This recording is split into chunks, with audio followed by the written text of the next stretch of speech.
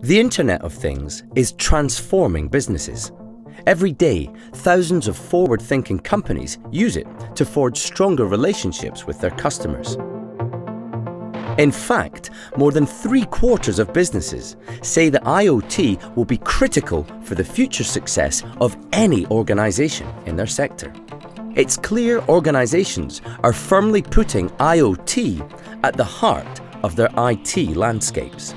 Today, adopters spend 24% of their IT budget on IoT, more than on mobile, cloud, or analytics. And in the past year, 89% of those adopters have grown their investment, starting new projects and connecting greater numbers of IoT devices.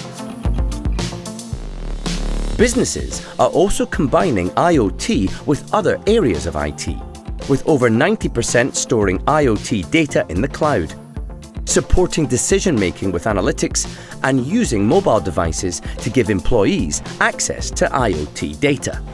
IoT is far from just a technology purchase or a tool for process automation. It's driving transformation for businesses 61% of organisations say they consistently make IoT an integral part of wider business initiatives.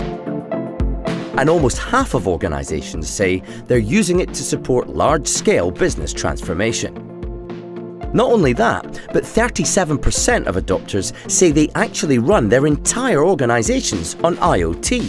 This strategic use of IoT is delivering measurable business results.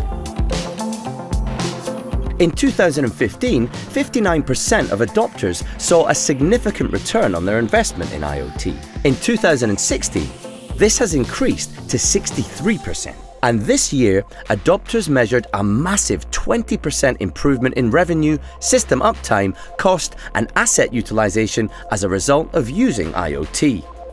Drawing on the experience of over 1,000 business leaders across the globe, Vodafone's barometer looks at these results in depth and identifies the approaches enterprises take on their journey to IoT.